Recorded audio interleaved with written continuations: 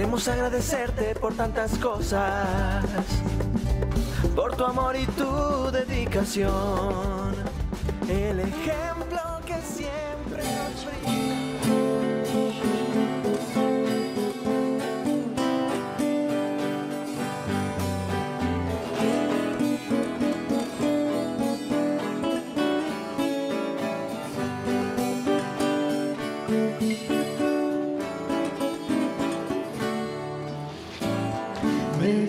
llevarás en ti como las sombras que tienen el azar de los ocasos, como llevan las rosas sus espinas, como los sufrimientos llevan llanto me llevarás en ti, aunque no quieras, aunque pasen los días y los años, aunque para olvidarme me maldigas, nunca podrás negar que me has querido. Tampoco has de negar que te hago falta.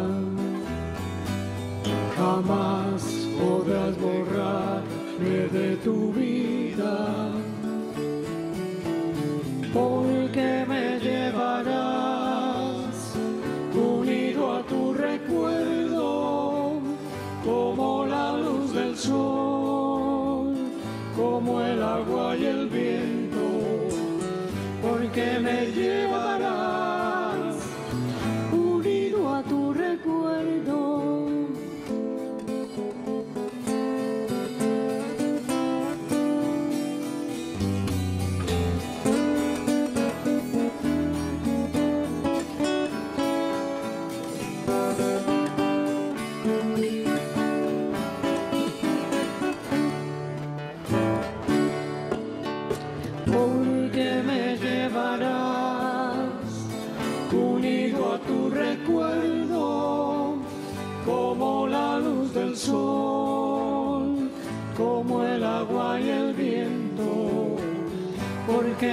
llevarás unido a tu recuerdo, porque me llevarás unido a tu recuerdo.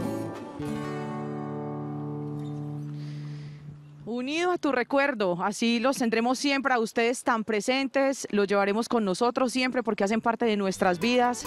Gracias por su existencia, gracias por lo que dan a diario a nuestras familias. Así que ustedes seguirán siendo esa razón tan importante para sonreír y como nos encanta que a esta hora se conecten con la señal de Telemedellín para que hagamos juntos este Entendiendo a mi Abue, este espacio que siempre se llena de tanta música, de tantos recuerdos, de tantos motivos para sonreírle a la vida y de tantos motivos para agradecer por su existencia. Así que nos unimos a este programa del día de hoy con sentimiento, con motivos para cantar. Así que atrévase a cantar, a dedicar esta canción, porque no lo puede hacer a esta hora en la pantalla de Telemedellín. Como también los invitamos para que se conecten con nosotros a esta media hora de programa, para que tengamos también temas interesantes, conozcamos personajes de nuestra ciudad, a esos personajes que conocemos en cada recorrido y que obviamente tienen muchísimo para contarnos. Invitados entonces de una vez a que se conecten con nosotros con el programa Entendiendo a mi Abue. Una vez más la consigna de cuidarnos y principal- y principalmente cuidarlos a ustedes. Así que por eso seguimos transmitiendo de nuestro canal Parque. Gabriel García Márquez. Esperamos pronto volverlos a visitar, volvernos a encontrar, así sea a la distancia, vernos, hacernos caritas, mandarnos abrazos a la distancia, pero queremos que estemos aliviados y sobre todo ustedes, así que a cuidarse muchísimo con el uso del tapabocas, a lavarnos las manos y con el distanciamiento. Por lo pronto, los invitamos al tema del día de hoy, como siempre con invitados que se suman a esta experiencia de Entendiendo mi Agua. Hoy con el tema Vamos a subirnos bien el tapabocas de edadismo. Vamos a saber qué es esto, en qué consiste. Y para ello nos acompaña una amiga ya de la casa y también gerontóloga Ángela Sierra, con quien vamos a conversar justamente de este tema. Angie, me encanta saludarte. ¿Cómo estás? Hola, Bienvenida Entendiendo a mi. Muy ¿Cómo bien, ¿cómo va todo? Muy bien. La familia, Mucho ¿bien? Todos vamos muy Bueno, bien. eso me alegra mucho. Muchas gracias. Bueno, eh, Angie, hoy un tema bien interesante que además nos vas a ayudar a entender un poco y es lo que tiene que ver con el edadismo. ¿Qué es justamente esta palabra? Bueno, tenemos definido como que el edadismo es esa discriminación social que se hace en razón de la edad. Es decir, cuando le empezamos a poner límites a cada una de las acciones que se van a realizar, hacemos convocatorias públicas y le ponemos un límite, solo hasta los 50, solo hasta los 59. Tenemos concebido entonces una persona mayor a partir de los 60 años. Hombres y mujeres a partir de los 60 se consideran personas mayores.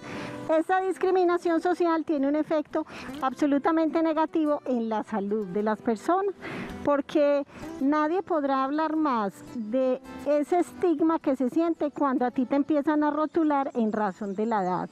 Aquí quiero hacer un reconocimiento al programa. O sea, ustedes están haciendo una labor importantísima es llevar esa voz de que las personas mayores son absolutamente vitales, tienen muchísimo para enseñarlo, tienen unas condiciones especiales algunos, pero unas capacidades asombrosas. Y ustedes lo han demostrado en cada uno de los programas que ha presentado. Y eso, y eso es justamente, Angie, lo que queremos, de que ustedes en casa sigan sintiendo esa vitalidad, esa importancia y todo lo que ustedes tienen para brindarnos. Además, porque en nuestra cultura mm, empieza desde muy temprano cuando, cuando justamente eso a lo que hacía referencia de ir postulando perfiles eh, menores de 30 años, en fin, y ahí se va haciendo esa depuración de las edades. Mientras que estamos acostumbrados o tenemos esa conciencia de que en otras partes del mundo las personas mayores son las que todavía van, trabajan, entonces los encuentran realizando diferentes actividades. Aunque como sociedad tengamos, Ángela, esa postura y esa posición de que nos han enseñado eso con las edades. ¿Cómo hacer ese trabajo desde las familias? Porque hay veces también caemos en, no, usted no vaya a hacer eso, de pronto se aporrea, de pronto se cae. Entonces casi que es algo que traemos muy con nosotros desde el núcleo familiar. ¿Cómo trabajar en ello para seguirlos eh, haciendo sentir importantes y no, no por hacerlos sentir, sino porque realmente ellos son muy vitales y tienen mucho para dar? Ajá, sí, realmente porque lo son. Entonces, finalmente, desde casa, ¿qué hacer? Uno, reconocer ese valor, ese legado que nos da esa persona mayor y ser de que habrá algunos cambios eh, en el tema de salud o en el tema mental, pero debemos procurar, o sea, es una tarea personal que nos tenemos que asumir y es que debemos dejar ser al otro. Ser persona mayor no indica en ese imaginario que nos enseñaron de que es una persona enferma, frágil, que hay que ayudarlo absolutamente para todo. Entonces, nuestra tarea y nuestra misión es dejar que la persona mayor sea ella que exprese su sentir, que haga todas esas actividades que le ha gustado hacer y algo absolutamente importante, que su palabra sea tenida en cuenta. Porque digamos que ahí empieza la discriminación y con esta discriminación tenemos una afectación a la salud por ello empezamos a hacer un aislamiento. Y ese aislamiento social enferma de una manera negativa a las personas mayores. Entonces digamos que como ciudad, que como habitantes de, de Medellín y cada uno en nuestra casa tenemos que velar por limitar esos estereotipos negativos que tenemos frente a la vejez y frente al envejecimiento. Y empezarlo, como siempre lo digo, desde asumir mi propio envejecimiento. Cuando yo asumo y reconozco que toda la especie viva pasa un ciclo, pasa un proceso que envejecemos, allí empezamos a valorar mucho más a las personas mayores. Entonces, en casa, permitan que la mamá participe en las labores, permita que la mamá, si está en una silla de ruedas, pues nos puede colaborar pelando las papas, por ejemplo, haciendo alguna de las acciones, pero tenemos que trabajarle también a esa tendencia de que lo vamos a sentar en una silla, o sea, es un ser absolutamente especial, pero no lo debemos limitar. Ahí es donde caemos mucho los hijos y los nietos a querer que nuestros mayores, como son tan hermosos, los dejamos sentados sin ninguna actividad. Entonces, importante reconocer al mayor, valorarlo y ponerlo en actividades que él puede hacer a su medida y a su capacidad, absolutamente necesario. ¿Para qué? Pues para que él se sienta bien, para que él se sienta parte de, cuando te empiezas a ser parte de ese núcleo familiar, cuando ese rol como mayor todavía se reconoce, pues definitivamente el cambio mental. ¿Y qué encontramos con, con, los mayores? ¿Qué nos muestran las cifras? Que finalmente la persona que ha asumido su envejecimiento y su vejez, que su núcleo familiar lo reconoce, cada vez asume más los cambios que se presentan normales con el envejecimiento. Mientras que las personas que han sido relegadas, que las personas que han hecho a un lado, finalmente eh, cualquier enfermedad de las que pueden llegar en la vejez lo afecta de una manera eh, mucho más grande.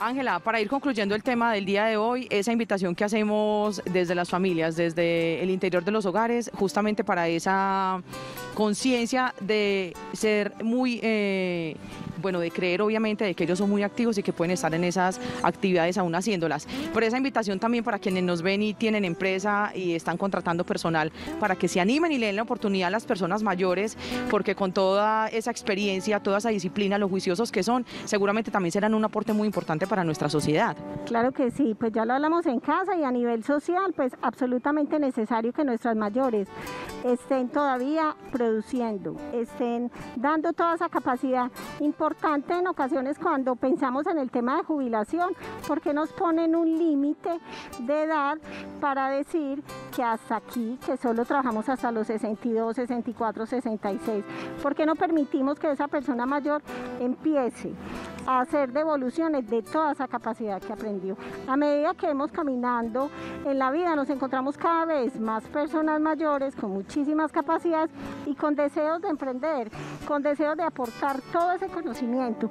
Las empresas, pues digamos que estamos esperando que se apruebe la ley del último empleo y esperamos que allí todas las entidades asuman esa conciencia de que los mayores tienen muchísimo que aportar en el tema laboral y es en todos los renglones, en la educación en el tema operativo, en el tema ejecutivo. Entonces tenemos que propiciar ese espacio laboral también para que la persona, mientras esté en actividad, va a estar mucho más sano, va a ser más aportante, tiene una mirada y una visión muchísimo más amplia de las cosas. Entonces pienso que es un factor importante a tener en cuenta. Pues desde las casas entonces a empezar a trabajar es el tema del edadismo, que recuerden que es esa discriminación a las personas mayores, porque de verdad todavía tienen muchísimo para dar y tenemos que empezar a trabajar justamente eh, en esa manera como nos referimos a ellos.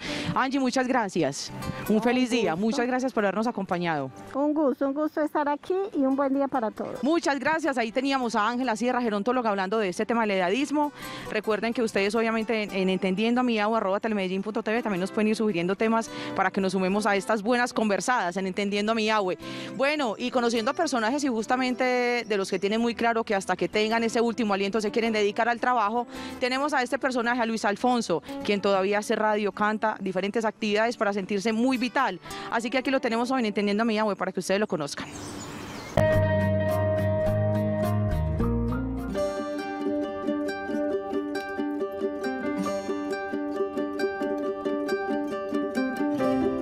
La música y el periodismo se combinaron para sacar lo mejor de Luis Alfonso Gil Montoya. Él, a sus 72 años, luce vital, enérgico y cada mañana madruga a darle rienda suelta a su pasión, la radio. Por eso su voz retumba en el estudio de Ondas de la Montaña mientras lee las noticias. Vayan a nutrir esos presupuestos municipales. La pasión y la vocación de ser objetivos en la noticia, eh, ser unos críticos conscientes y analistas de la noticia y esto nos ha dado eh, forma de servirle a las gentes. el noticiero Antioquia 1350, Ondas de la Montaña. Luis Alfonso es ingeniero químico y contador público. La afición por la música es una herencia familiar que pudo cultivar y perfeccionar en el Conservatorio de la Universidad de Antioquia. De ahí que sea una de las partes fundamentales de su vida. Bueno, empezamos a desarrollar las noticias que tenemos para este... La música debe tener una expresión de arte complementada con una escuelita. Entonces allá pues tuve la oportunidad de hacer técnica vocal y solfeo, armonía y piano complementario y eso pues me dio las posibilidades de estar en el Teatro Colón con zarzuela en Bogotá y aquí eh, allá estuve con el maestro Jaime Bansur y aquí en Medellín con el, maestro Jaime Santamaría. Eh, hicimos también en el Teatro Pablo Tobón y en el Teatro de la Universidad de Medellín. Dos almas que en el mundo Su voz se desliza entre tangos y boleros y por supuesto el bel canto, lo que Luis Alfonso considera una terapia para reducir el trajín de una vida laboral bastante agitada. Por eso, cada que cierra los ojos y se deja transportar con su voz, él sabe que ahí está la alegría de su vida. De nuestro inmenso amor.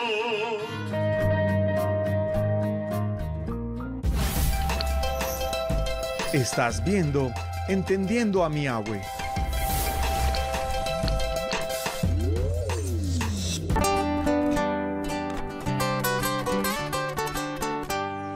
Esto es Entendiendo a mi agua la señal de Telemedellín. Y bueno, siempre les estamos diciendo que por estos días de autocuidado donde queremos que ustedes estén bien y obviamente nosotros también cuidándonos para cuidar a nuestras familias, les decimos que siempre estamos muy pendientes de ustedes en cualquier barrio, en cualquier rincón de nuestra ciudad, pues vamos a estar muy pendientes, como les decía, para saber que están bien, para saber que están haciendo esas actividades, que están en compañía de sus familias y que se están cuidando, así que disfrutamos de esas imágenes que nos regalan ustedes y donde por supuesto disfrutamos de su compañía, así sea la distancia. Y seguimos desde Canal Parque, como les decía ahorita, también con estas postales, estas imágenes de florecitas, de naturaleza, de aves, de mariposas, las mariposas de Macondo, Gabriel García Márquez, en este espacio que también quiere llenarlos de un poco de tranquilidad a esta hora. Miren, eh, mensajes que llegan a través de las redes sociales también, donde ustedes se suman a esta experiencia bonita de rendirle un homenaje a sus abuelos. Pues acá tenemos un mensaje que queremos leer desde ya, porque esas abuelitas que están en el cielo también siguen cuidando de nosotros, así que tenemos un mensaje muy bonito hoy para decir. Abuelita, siempre serás mi gran amor. Fuiste mi ejemplo a seguir. Gracias por tu amor y tus enseñanzas, dice Sebastián Londoño a esta hora en la pantalla de Telemedellín, para rendirle un homenaje lleno de amor a su abuelita, así que nosotros también nos sumamos a él y pedimos porque esa abuelita desde el cielo siga cuidando de sus nietos, así que nos da muchísima emoción también leer estos mensajes. Bueno, y después de esta motividad y este momento tan bonito, también qué tal si nos vamos a ver esas imágenes que nos regalan las redes sociales, donde ustedes obviamente muy activos también han empezado a participar con la tecnología, porque es el momento de mostrar a uno de esos abuelitos bonitos que nos encontramos y justamente de este que es un tremendo bailarín, así que vamos a verlo.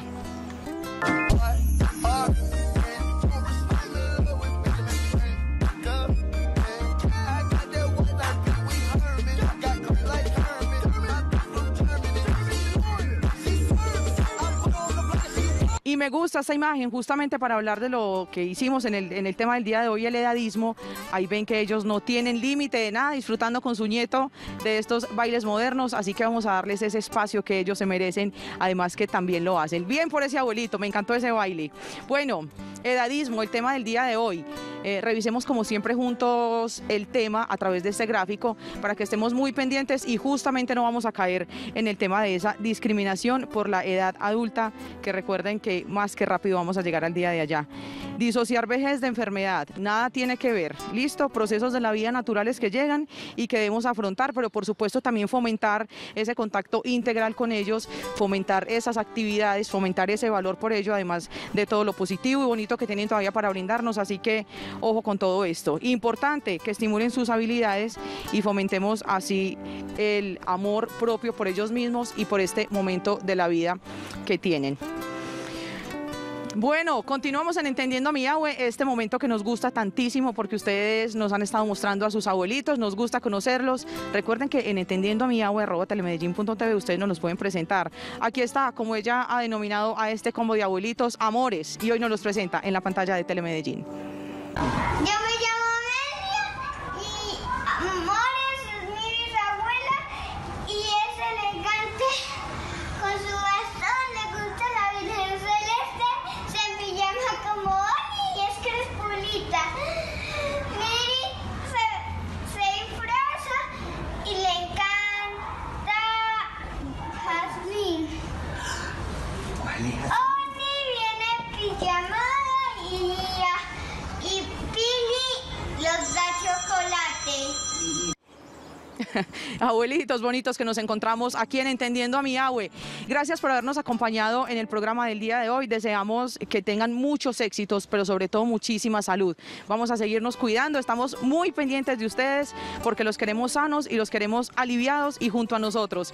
Y bueno, despedimos el programa del día de hoy como siempre lo hacemos con la música de los Vieco, con nuestros amigos y esta canción que dice Noches de Cartagena, desde la romántica Cartagena también llegan esas notas, esas melodías que les queremos dedicar a ustedes, así que a cada uno que a esta hora está conectado con Entendiendo a mi Yahweh, les dedicamos esta canción, además con cada una de estas florecitas que hacemos llegar hasta sus casas, recordarles que los queremos muchísimo y por supuesto que sigan muy conectados con toda la programación de Telemedellín, aquí te ves.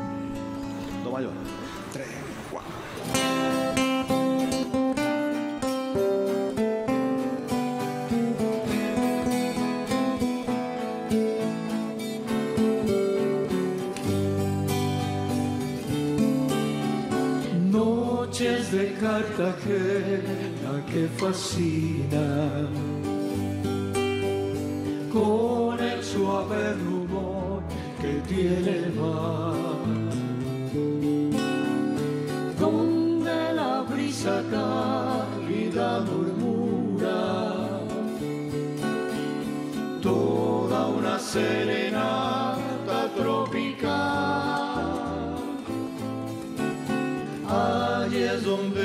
quisiera estar contigo,